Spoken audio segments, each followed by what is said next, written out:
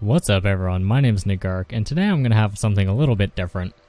I've noticed that people are trying to figure out how to do something in Besiege, and that something is how to fucking steer. And I don't blame you. I had a lot of issue figuring it out, and I figured it out partway through my playthrough. I had some help with it, and I'm just going to explain very briefly with a four-wheeled monstrosity just how to steer. So we all know that something like this is pretty...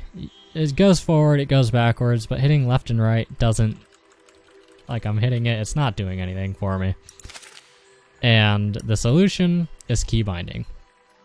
Now, this I'm doing this with a numpad, but this can be done with any four keys. Alright, the right side is going to be bound to 7 on the numpad for forwards, and 1 on the numpad for reverse.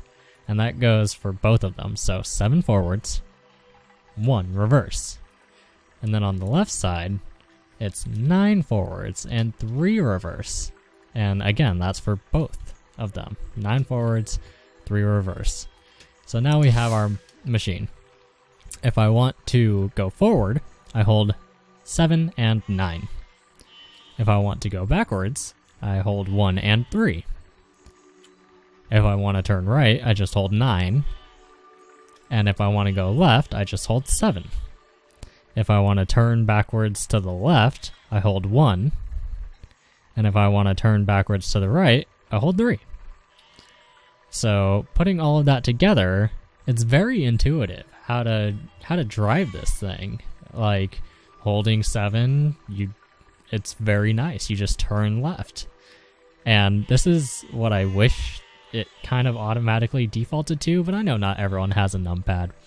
And if you don't have a numpad, you could do something like U and O and J and L for your forwards and backwards.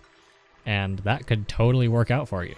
It's not something that I've done. I I would have issues doing it right now because I have one handful, but this is how you steer in ban banished besiege. Holy shit! Excuse me for that. This is how you steer in besiege. If you liked it, let me know, and thank you for watching.